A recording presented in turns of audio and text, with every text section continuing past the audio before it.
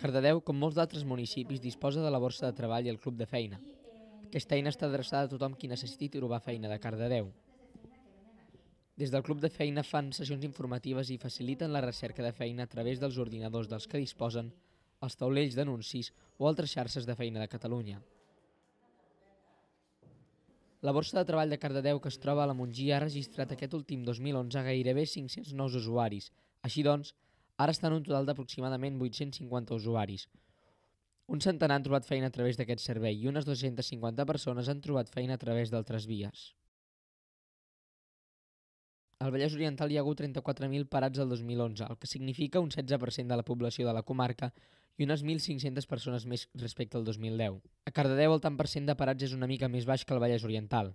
L'any passat es va registrar un 14% aproximadament d'aturats de la població, equivalent a unes 1.300 persones de 17.000 habitants que hi havia a Cardedeu.